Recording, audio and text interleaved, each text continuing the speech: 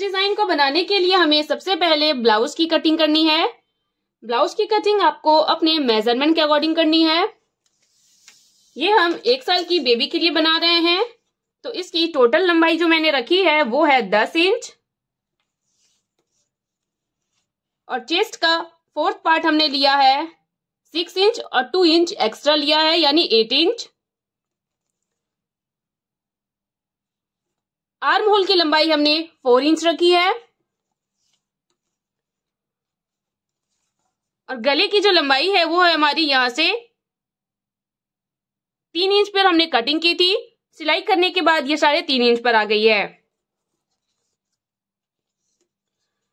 इसके बाद हमने टोटल जो नेक की कटिंग की थी, वो की थी फाइव इंच पर। यहाँ से यहाँ तक टोटल हमारी फाइव इंच थी।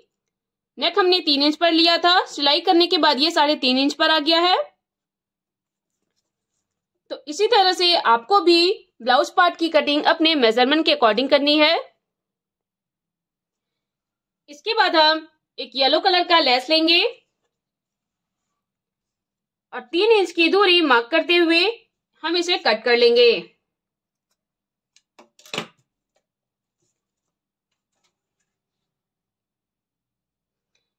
इसके बाद हम सुई धागे की मदद से इस तरह से इस बार सिलाई लगाएँगे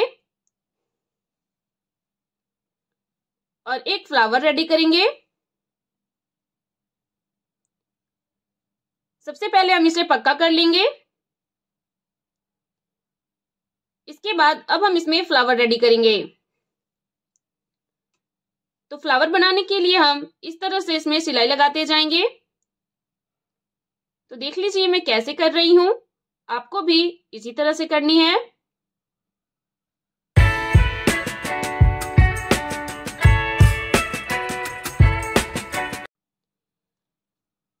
इस तरह से बनने के बाद हम इस तरह से दोनों पॉइंट को ज्वाइंट कर देंगे।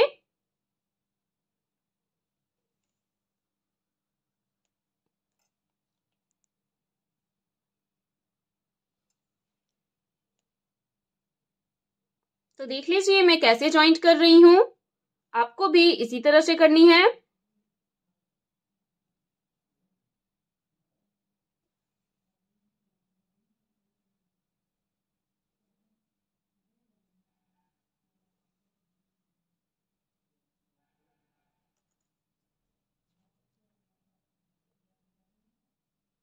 तो ये देखिए, इस तरह से ये एक फ्लावर रेडी हो जाएगा।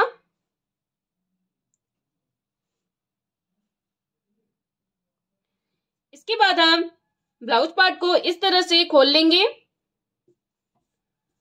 और जहाँ जहाँ भी आपको इस फ्लावर को लगाना है, वहाँ पर हम इस तरह से चौक से निशान बना लेंगे।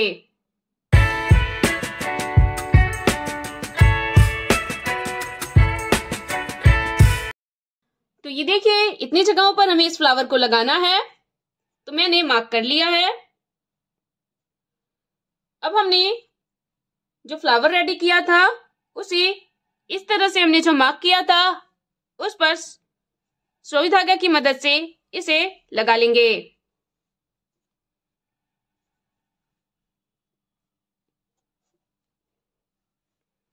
इसके बाद हम इसे इस तरह से पलट कर पक्का कर लेंगे।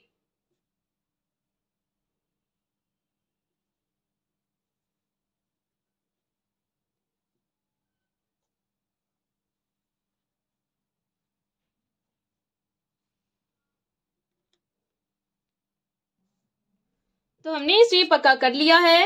अब हम यहाँ से धागे को कट कर देंगे। तो ये देखिए, फ्लावर हमारा लग के रेडी हो चुका है। इसी तरह से हमें सारे में फ्लावर को बना के लगा लेना है। मैं आपको एक और बना के दिखाती हूँ, ताकि आपको और अच्छे से समझ में आ जाए। तो लेस को हम सबसे पहले तीन इंच की दूरी पर कट करेंगे। इस तरह से। इसके बाद हम सुई धागे की मदद से इसे सिल लेंगे।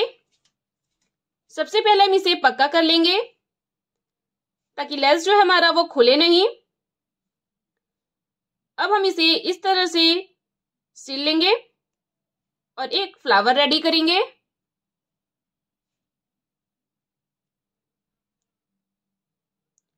तो सिलाई हमारी कंप्लीट हो चुकी है। अब हम यहाँ से सुई को बाहर की ओर निकालेंगे।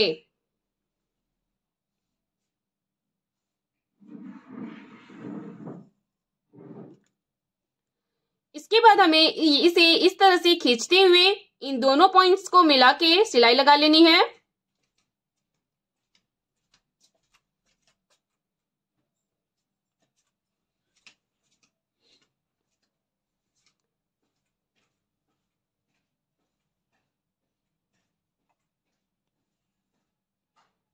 तो देख लीजिए मैं कैसे सिलाई लगा रही हूँ। आपको भी बिल्कुल इसी तरह से सिलाई लगा के एक फ्लावर रेडी कर लेना है।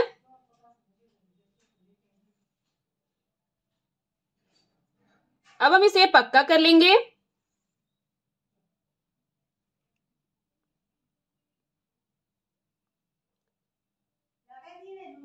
तो ये देखिए, फिर से हमारा एक फ्लावर रेडी हो चुका है। अब हम इस फ्लावर को हमने जो ये निशान लगाया था, उस पर इस तरह से रखेंगे।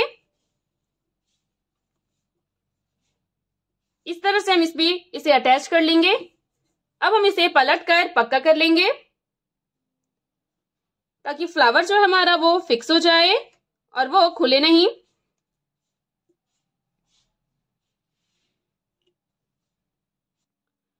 तो हमने इसे पक्का कर लिया है। अब हम यहाँ से धागे को कट कर देंगे। तो ये देखिए, दो फ्लावर हमने इसमें लगा के रेडी कर लिया है। आपको इसी तरह से पूरे में फ्लावर को लगा के रेडी कर लेना है। हमने सारे में फ्लावर को लगा के रेडी कर लिया है। इस पार्ट में हमने नहीं लगाया है, क्योंकि ये हमारी सिलाई में दब जाएगी। का लुक कुछ इस तरीके से आएगा।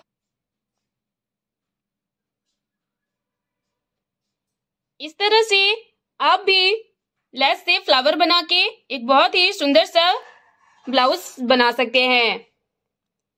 इसे आप लहंगे पे भी बना सकते हैं या फिर क्रॉप टॉप पे बना सकते हैं।